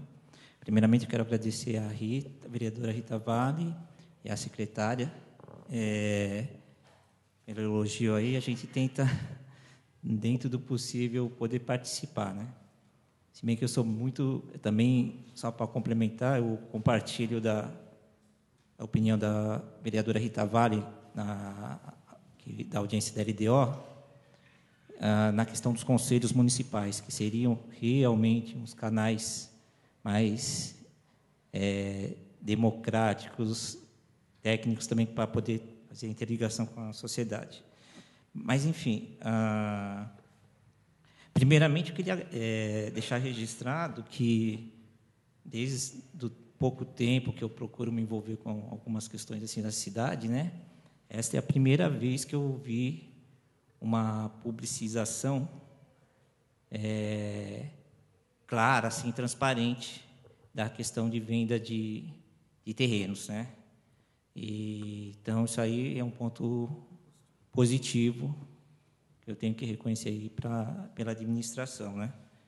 E também vendo os projetos aí pela a forma até de das condições de, de como viram esses recursos, né? Bom, é, eu soube também por acaso, por coincidência, eu vi uma matéria na sexta-feira da semana passada que ia ter um, alguma coisa sobre isso daí e daí na segunda-feira eu já vim atrás aqui para saber, né? E às vezes a gente não tem aquele conhecimento, desconhece também de todo esse do que foi passado aí, mas é, a gente acaba sendo bairrista para defendendo algumas alguns pontos de vista, né? E o que me chamou muita atenção é, foi justamente né, a quantidade de, de terrenos, né? E não desmerecendo os projetos aí apresentados, né? Mas é, para nós, assim, da população, assim, a gente pega as informações básicas, né? Então, quando a gente vê essas obras da parte do da AD, lá do Colégio São Luís, a gente tem, assim, na nossa a nossa pequena visão, que já estava tudo bem definido, Exatamente. né? Certo. Já estava tudo certo, né? Puxa, por que uma despesa? Por que isso aqui ocorreu agora, né? Então a gente pega a gente de surpresa e principalmente que nem é, indo no encontro na parte da LDO, né? Quando a gente falou daquele, quando eu falei, vereador, daquele de certa forma, um desapontamento né, de algumas coisas não serem executadas. A gente sabe da limitação também que tem os vereadores, nós vimos isso no curso Precaver. Se vocês apontam as emendas, se vai ter, se vai ser contemplada, são outros 500. Né? Mas justamente esses outros 500 é a falta de recursos. Né? E, a gente, e quando eu vi aqui um, a questão dos recursos que foram apurados, né? É, eu concordo que quando tem um, um terreno pequeno, é, pelas novas normas, é, principalmente na questão de construção da parte de unidades de saúde, escolas, tem que atender critérios técnicos com medidas mínimas, né? E mas eu sempre vejo aquela questão da prioridade. O que, que tem de prioridade naquele bairro que está faltando uma verba, né? E se nós formos vermos individualmente, os terrenos podem não ter serventia assim para assim equipamento, para implantação de equipamentos, né? Mas, desculpe a minha visão simplista, né? Mas de repente eu tenho a necessidade de implantação de um equipamento que é de uso comum é, para aquela comunidade e eu não tenho é, e eu não tenho uma área própria do município para fazer, mas, mas de repente eu tenho uma área disponível de um particular, né? que atende às vezes as, as condições mínimas de metragem, necessidade que eu preciso. Então, vem aí até com uma sugestão, né? É, realmente que de repente esses que nem esses cinco, seis lotes do Jardim São Miguel, né? De repente ver um, um caminho, uma alternativa de fazer uma troca dentro da legalidade, né, se assim for possível, de para de uma negociação com um proprietário, com o dono de um outro imóvel lá, que nem tipo, se eu tenho eu tenho aqui essas metragens nesses terrenos, eu preciso de é, de uma área de 5 de é, mil metros quadrados, né? Esses lotes, é, de repente, pode haver uma troca, né? E que até mesmo para o proprietário daquele terreno maior, é, pode ser até mais vantajoso, né? principalmente agora com a parte de empreendimentos imobiliários. É. Então, é Sim. por isso que eu estou apresentando como propostas, né? que, que nem quando a gente vê a prioridade, né? É, porque é um, se a gente for ver em termos de volume, de montante, né? de, de recursos, nossa, são recursos grandes que também é, poderiam suprir a necessidade daquele bairro né, daquela comunidade. Né? Nesse aspecto, eu não tenho como não declinar de ser bairrista, porque, é, como eu falei na outra é, na reunião da LDO, secretária, então, às vezes tem coisas que nós requisitamos há anos, né? E justamente é inviável pela falta de recursos. Quando a gente vê a oportunidade de uma receita extraordinária, né? Eu falei, puxa vida, pode ser viável, né? E então, só que eu queria só deixar registrado que às vezes uma discussão nesse nível. Eu não moro nesses bairros, mas que nem um exemplo, eu moro é, que nem do Águas Claras. É, às vezes a gente está ali, na, todo dia passa por ali. É, eu não sei a parte técnica, mas um exemplo tem a, a ligação daquelas duas avenidas principais da Águas Claras para o que vai em direção ao, Enedina Cortês, né? Afunila-se ali em frente à escola e ao posto de saúde. Luiz Gonzaga e a 8 de maio, né? E, e fizeram só uma, uma rua que serve de estacionamento e tem o restante do terreno. Eu não sei se ali é uma viela ou se é uma propriedade particular, né? Mas um é exemplo. Uma viela. É, então, um ex, mas estou dando como exemplo, porque eu não, não mas sei, é né? Uma, mas, terreno, mas um exemplo, se fosse, se o que sobrou lá, que fosse uma propriedade particular. Mas você vê, só para contribuir, Gerson, aquela área imensa é uma viela. Ali deve ter mais de 600 metros quadrados aquele terreno e, a, e ela consta apenas como uma viela. É que com a lei, com a lei que foi aprovado, o projeto que foi aprovado, não. vai ser possível. É, mas ainda assim, algo. mas seria só no todo ali, eu não sei, é. porque ali tudo isso tem que ser estudado, mas, porque. Mas enfim, e ainda assim, era, era um exemplo, casa, né? né? De repente um, um terreno, de repente uma uma, é, uma via de acesso a um determinado bairro é, tem um terreno particular que, se fosse propriedade do, do município, seria viável. Né? Eu estou é, colocando como suposição. Tá? Então, de repente, surge a alternativa. Opa, puxa, a prefeitura agora tem, é, tem mais um terreno do bairro decorrente dessa ação judicial. Né? Então, puxa, então vamos fazer a, fazer a permuta para viabilizar a implantação de alguma coisa. Né? É. Só, e, só para tentar. Primeiro, registrar a presença do Bruno Leonardo Leme, que é diretor-presidente da Coab, Associação Cooperativa Habitacional de Bragança. É, e ali já, até me entristece, é questão pessoal minha, não ter sido aprovado a, o projeto de lei, a, o PELON, na semana passada e essa semana, que dispunha sobre áreas de lazer e vielas. E foi retirado o termo áreas de lazer porque havia uma, uma compreensão equivocada que todas as áreas de lazer do município poderiam ser aí vendidas, permutadas, alienadas.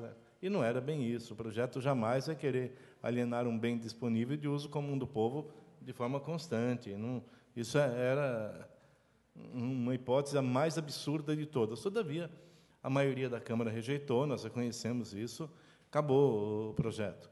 Mas ficou, as, ficou ainda as vielas que estão contempladas em áreas onde foi possível fazer esse trabalho, é claro. A dificuldade hoje que a prefeitura ela, ela precisa criar mecanismos, por outro lado, Jetson, de arrecadação. E um dos mecanismos de arrecadação é esse, é da disponibilização de bens imóveis. Sim, mas que a sua que a sua ideia é mais do que valorosa em unirmos várias propriedades pequenas e de repente trocarmos com uma unidade grande que possa, possa prestar um serviço melhor à população, não tem nenhuma dúvida. Isso não, não pode ser descartado de modo algum. É, é mais do que uma.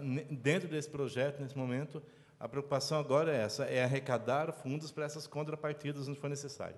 Tá? É, então, só para também deixar registrado, né, que é, infelizmente eu lamento a não particip... a não vinda aqui de pessoas. Eu procurei divulgar via Facebook, coloquei, podia ter feito uma, uma publicação um tanto sensacionalista e barrista, né? mas foi para provocar uma discussão. Também tenho que reconhecer isso, a falta de interesse da comunidade, né? que eu esperava ter muitas mais pessoas aqui hoje. E, e só para complementar, é, para registrar, é, secretária, é, como cidadão, é, me assustou um pouco também a questão da, dessa parte das contrapartidas. Né? Como eu falei, a gente pensava que estava tudo certinho né? e não haveria essa necessidade. E, e só voltando, é, para José Mildo, na questão do, também da aplicação de recursos. Né? É, os senhores falaram aqui da, da questão da. Deixa eu pegar aqui. Do, da Sabesp ali, do, do McDonald's, que isso não é, acabou sendo de falar o, o, custo. Primeiro, da relocação do posteamento e da, da, válvula, é, da válvula da Sabesp. É, o senhor falou da, do, do que, só que esqueceu de falar o valor.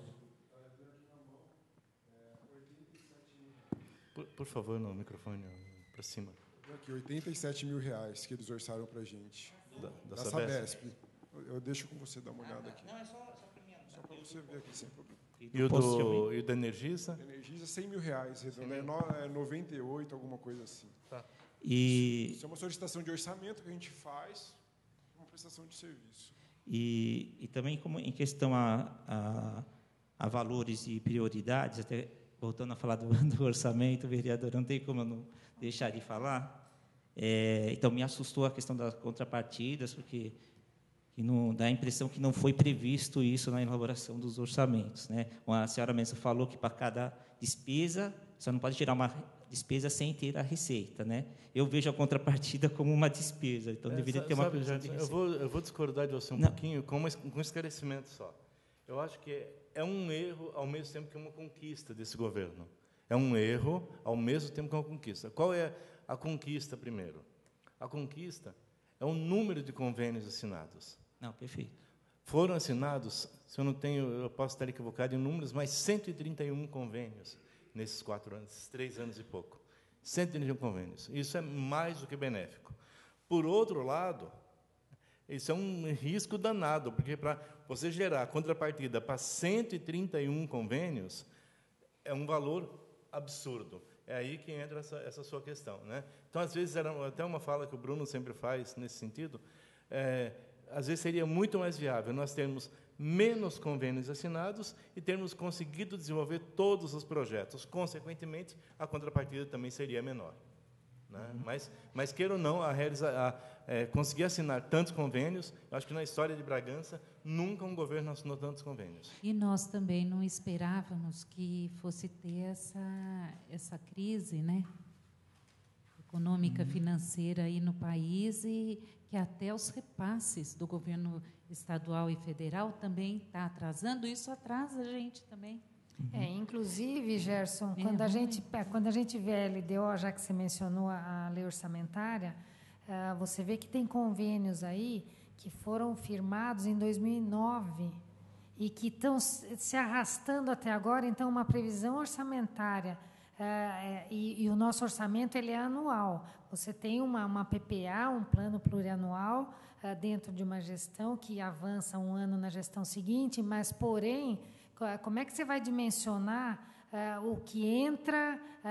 Porque os convênios eles são, vamos dizer, um plus para o que vem de recurso do, na gestão.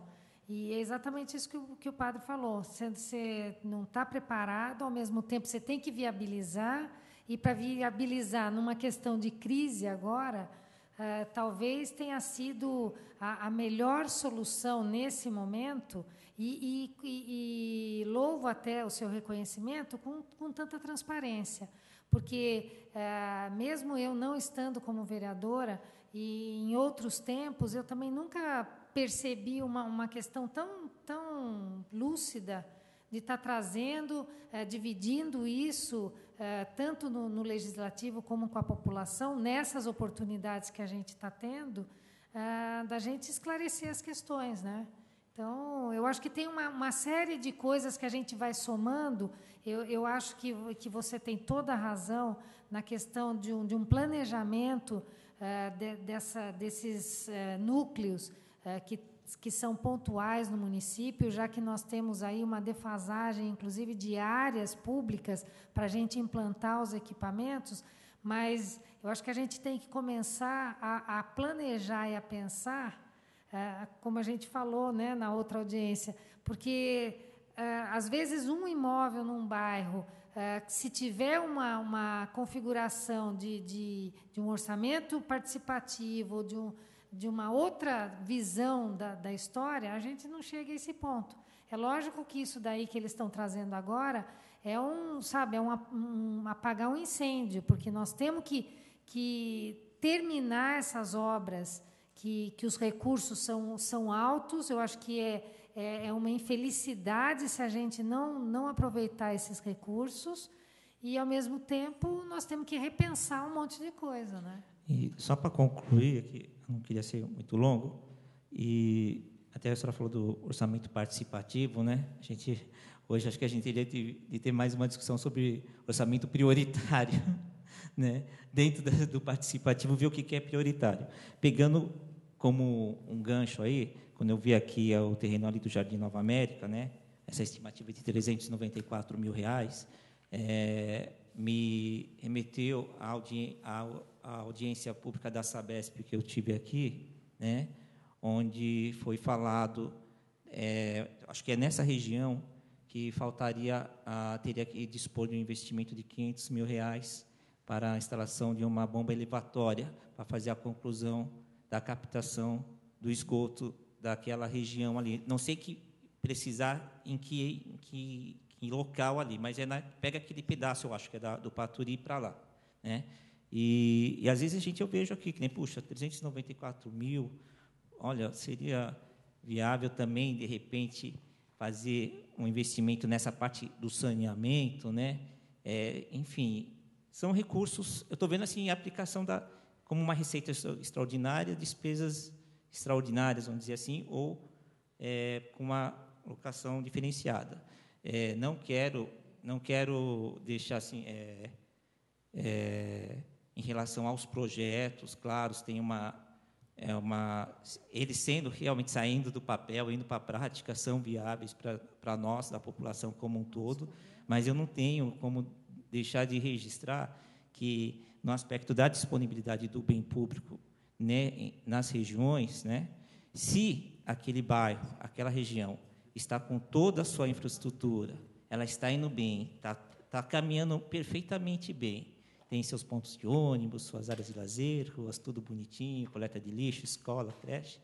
Então, eu aí, nesse, a partir disso daí, né, é, eu concordaria realmente, ah, peraí, e dispor aquele bem público naquela região, é, uma venda para gerar uma receita que possa vir aplicar uma obra para outra para o restante da cidade, né? Eu só queria deixar registrado isso. Então, eu agradeço ter é, pela, pela forma como os senhores apresentaram, assim, que, que tivesse é, com essas informações, né? E, mas, enfim, queria deixar só registrado esse, esses pontos de vista que eu coloquei aqui. Beleza. É, eu só pediria, eu acho que a gente está entrando em bastante questões técnicas também, que é importante, esses apontamentos são essenciais, mas se pudesse se objetivar mais na matéria e ser mais objetivo para a gente e fechando também, depois eu quero ouvir ainda o Bonadia, ouvir o Almir, ouvir o Bruno. Não sei. Se quiser. Posso falar? Pode, por favor. Só, é. só se identifique, por favor. Tá? Meu nome é Bonadia, Carlos Alberto, mais, mais conhecido como Bonadia. Boa noite. É, bacana. Rafael, né? É uma dúvida, e complementar o que o colega falou aí, estou de acordo. O que, o que me deixa indignado, e eu gostaria de que você pudesse explicar um pouquinho melhor, e ele não comentou sobre isso, é sobre o contrato do Colégio São Luís, que a prefeitura tem um reajuste anual aí de correção de em torno de 700 mil reais. Nós estamos vendendo patrimônio público que podia ser revertido em, em, em prol da, da população. Enfim, isso aí tem que ser bem discutido, né? Mas como refazer esse contrato, já que a obra não pode ficar parada? É como não tem não tem como se reverter um pouco para nós, para a gente, poxa, não estamos estamos em crise, as coisas estão abaixando de preço, imóveis abaixando de preço, tudo abaixando de preço, se a tendência é essa, veículos abaixando de preço, tudo se abaixando de preço, por que não é, rever esse contrato para que a gente não tenha esse ônus de 700 mil reais aí de reajuste, sendo que está sendo renegociados, empregados pelo país de uma forma toda. Será que, a, não sei, eu queria que você me explicasse um pouquinho melhor para me entender isso aí, por favor. É, é, um direito que a empresa tem dentro do contrato, na verdade. Você tem a inflação, é um reajuste dentro de, de índice de inflação, na verdade, que eles têm. Então, isso não aconteceria se caso a obra se desenvolvesse da maneira natural dela, se tivesse sido feito no primeiro momento uma planilha coerente com o que fosse feito, não se tivesse parado o desenvolvimento da obra no início dela, por conta daquele problema do projeto, e não tivesse é, é, aditivos. Aí a gente tem um problema do repasse. A gente não está recebendo repasse. Se nós recebêssemos esse repasse do governo do Estado, nós não teríamos com esse valor todo, a gente estaria terminando a obra. A prefeitura a prefeitura está tirando todo o fôlego financeiro que ele tem para tocar aquela obra, para a gente estruturar a parede daquele prédio com as estruturas metálicas que estão sendo feitas internas. Tanto é que parece que não está andando a obra. Só que se você entrar ali, você vai ver as estruturas que estão sendo feitas. Então a gente estruturou para que não caísse o prédio. Agora você está no momento da obra que é delicado. Eu preciso terminar aquela obra. Se eu parar um contrato daquele e começar a cair chuva, né, aquilo, aquilo é tijolo com barro. Eu começo a desmanchar aquelas paredes, que eu estou sem cobertura. Então, o nosso objetivo é que a gente não tenha o recurso agora para fazer o, o, restante que a gente tem. O nosso objetivo era, no mínimo, cobrir aquele prédio. Mas é, é isso que eu quero dizer. Juridicamente, não tem como discutir esse projeto, esse, esse, esse contrato, contrato, com essa empresa. É direito responsabilizar deles. o governo gente, estadual. A, a gente, a gente teve uma discussão lá dentro até da gente cancelar esse contrato. Só que a, a gente cancelar esse contrato hoje, o que a gente tem que pagar para a empresa não é viável. O melhor é a gente acabar aquela Vai obra. chamar eles para negociação. Isso não existe para a gente, gente parar de pagar tanto. Um o que, que aconteceu caro. com a empresa também? Por exemplo, o que aconteceu? A empresa, ela, ela quando ela comprou a estrutura metálica, que está sendo executado, ela comprou o total. Ela não compra picado. Então, ela tem um monte de estrutura metálica guardada no galpão deles lá, que eles não executaram. Isso a gente tem que pagar para eles, sem executado. A gente vai guardar toda a estrutura metálica lá no, na Secretaria de Serviço sem utilizar.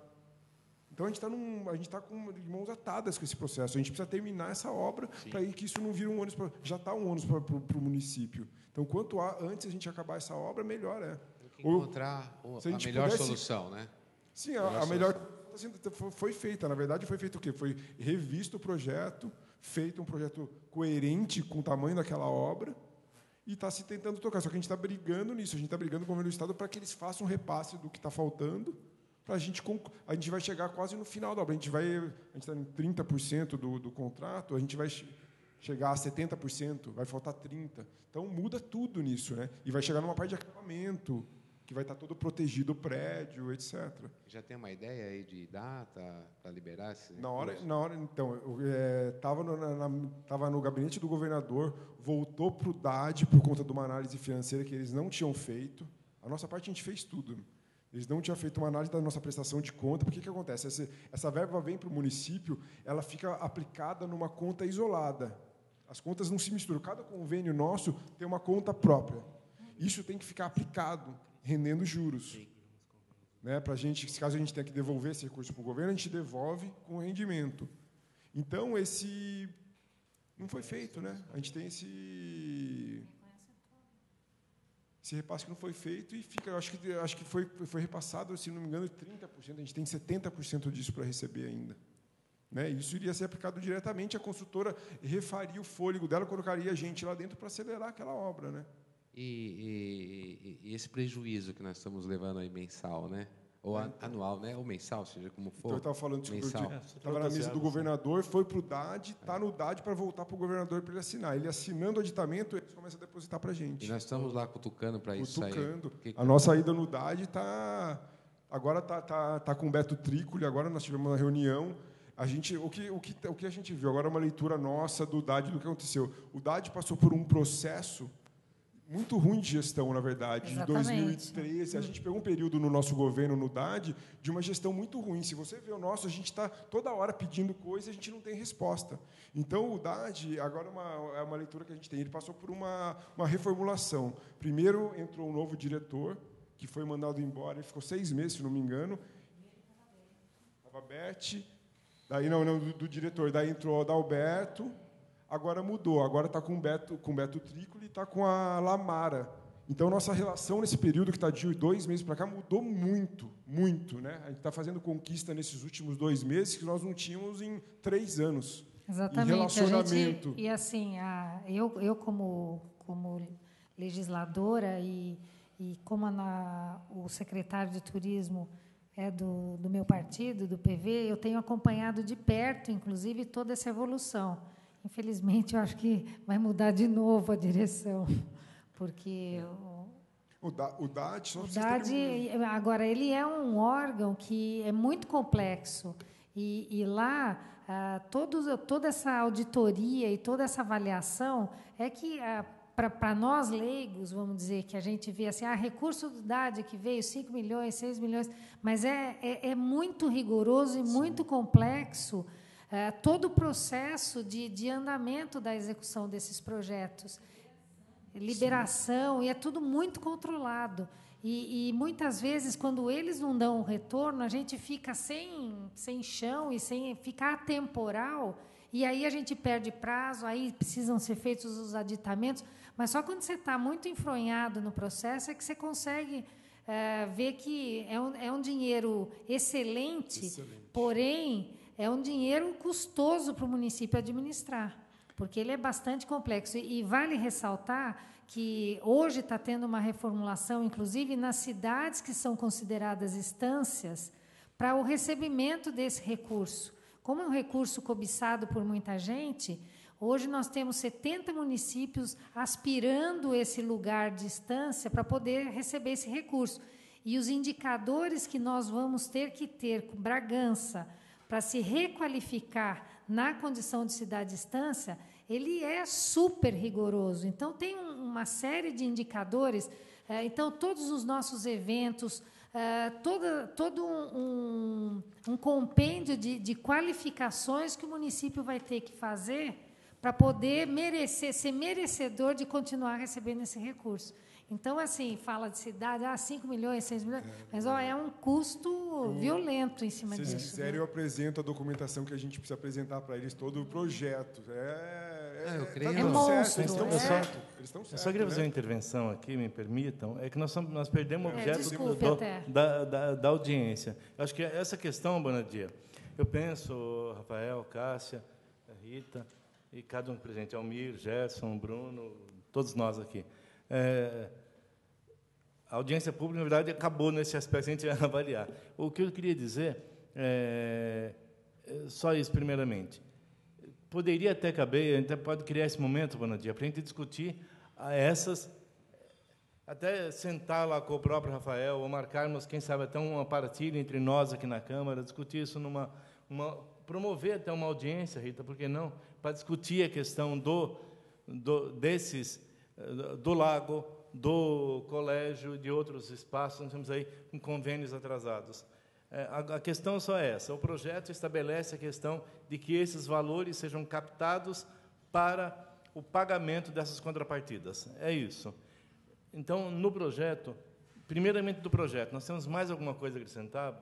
Bonadia, eu, eu posso só acrescentar para encerrar? Favor. Quanto aos terrenos que estão à disposição para ser vendidos, eu, eu só acho que tem que ser bem vendido né, uma boa avaliação de mercado, porque com certeza devem ser terrenos estrategicamente aí, bem localizados, né? Então, sendo mais ou menos, mas sendo bem, bem vendido, com preço de mercado, que seja para usar os recursos para, para um bem maior da população, aí tem que discutir, não é o caso aí agora de falar isso, mas eu, eu, eu concordo com isso, que se forem bem vendidos, eu não vejo... Mas, ó, Bonadia, eu acho que só o fato do executivo está precisando muito desse, de, desse recurso, eu acho que eles vão fazer, vão fazer o máximo para que eles possam ter é, o máximo de valor, arrecadar o máximo de valor de cada isso, imóvel. Isso a gente pode comparar muito simples. Se eu estou estourado no meu cartão de crédito, eu vendo meu carro para pagar o cartão de crédito que tem 14% de, de juros ao mês. Então, desde que seja bem vendido, Aí a gente vai pensar em outra coisa para a população, melhor, desapropria, e, etc. Então, eu agradeço a... Essa. Não, mas é, eu, não, eu não quero intervir a continuidade, é só para a gente poder Sim, ficar não, no, mas no, eu, no objetivo. Eu agradeço aí a, a, o, o poder falar aqui. Muito obrigado. Por favor. Almir ou Bruno? Só quero parabenizar pela transparência. E, né? Eu vejo que agora é um, é um mal necessário. Sim. Né? É um mal necessário. A gente pode perder muito mais. Né? Então, é, não sei, será que foi só, só a crise? A gente ou faltou um pouco de, de gestão nisso tudo também, né? Mas agora é, ver o que, que dá para fazer, né? É, você tem toda a razão e, além, e tem um detalhe maior, até, eu não queria entrar nesse mérito, mas é apenas para ter conhecimento, não pensem que também que intervenções políticas não atrapalham o andamento das questões. Muitas vezes, seja no DAD, seja na Caixa Econômica, seja no Ministério das Cidades, onde for, também pode haver pessoas, e eu creio que há, que querem prejudicar o andamento do convênio no município. por interesses políticos. Tá? Isso também tem que ser avaliado. Muitas vezes a coisa não anda, e até nós temos funcionários que trabalhavam, que trabalhavam especificamente no escritório de projetos, que hoje estão com acesso a esse material, com todos os convênios na mão, e que podem manipular isso em São Paulo como quiser.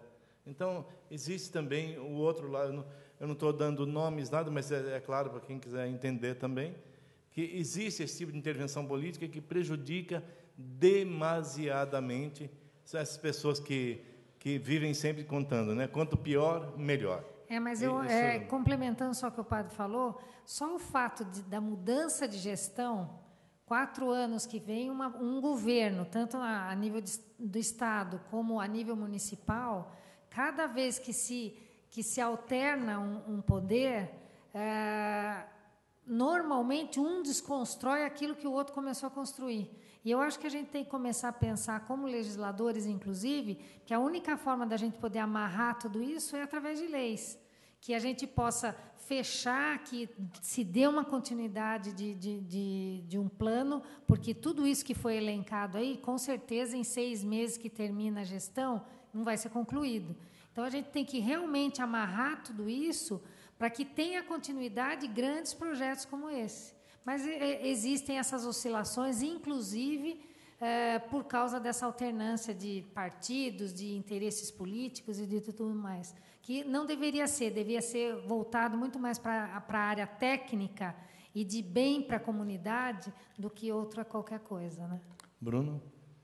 Bom, boa noite, Bruno, presidente da Coab, associação de uma entidade ligada ao movimento de moradia de Bragança.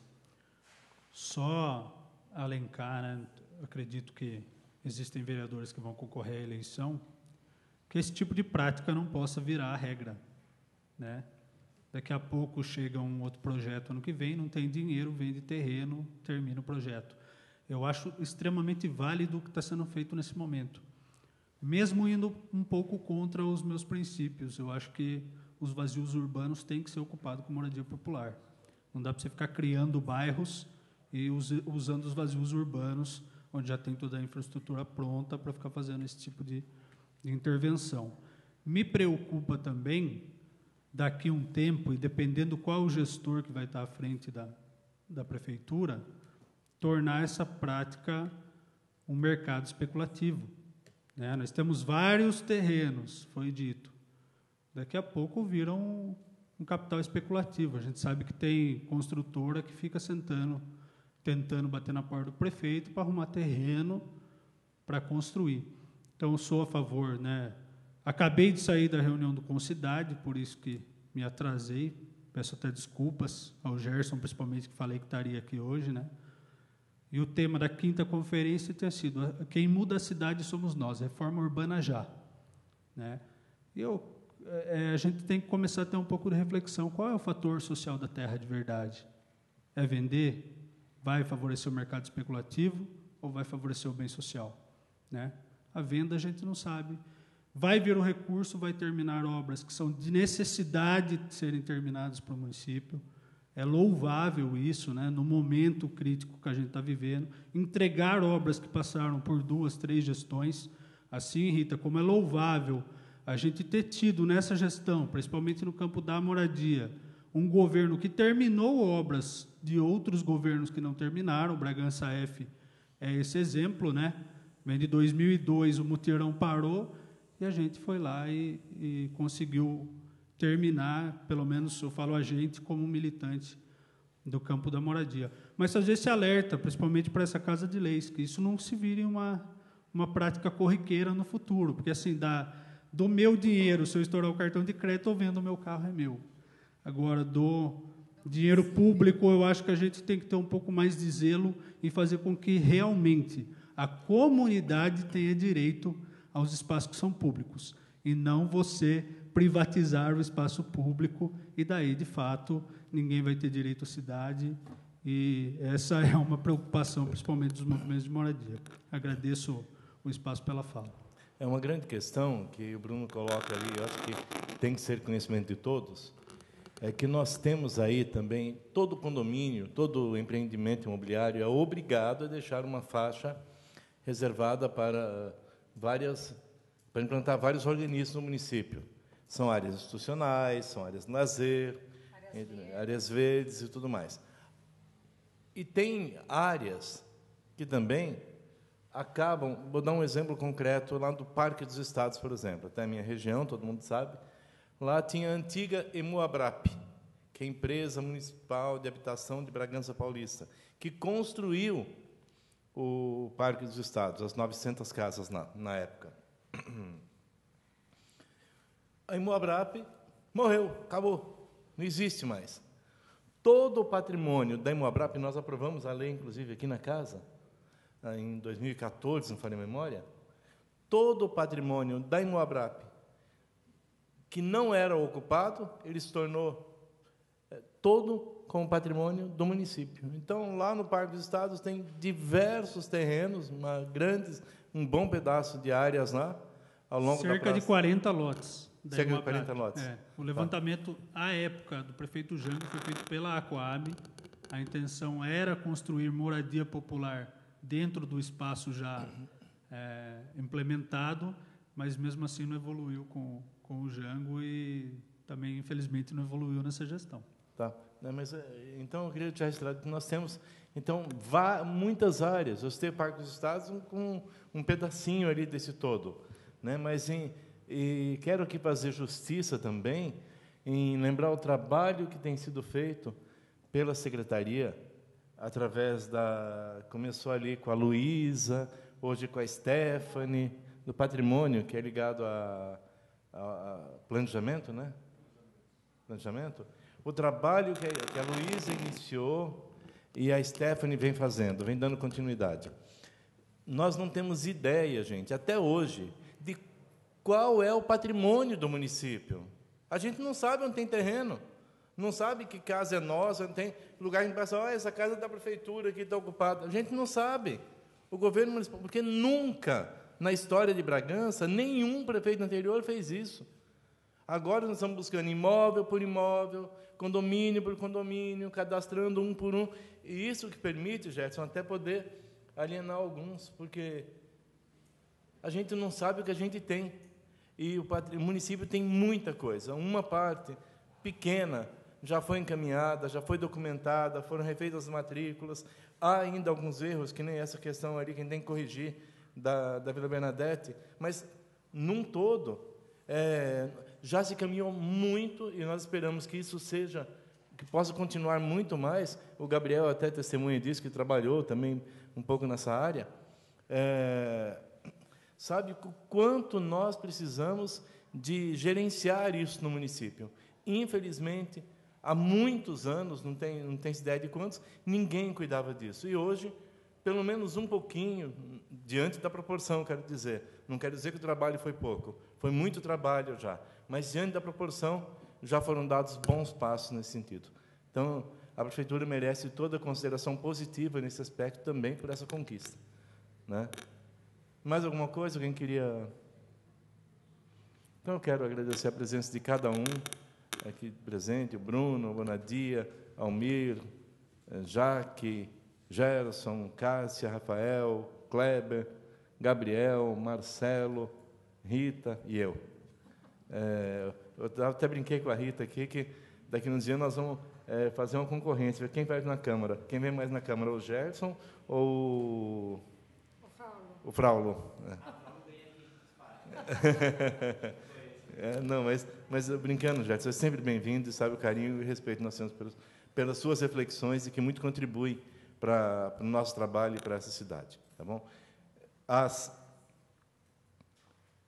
não havendo mais manifestações, às 21 horas, perdão, às 20 horas e 48 minutos, declaro encerrado, encerrada a presença e audiência pública. Obrigado a todos pela presença, tenham todos uma boa noite. Obrigado, Iro, também, esquecendo de ir lá em cima.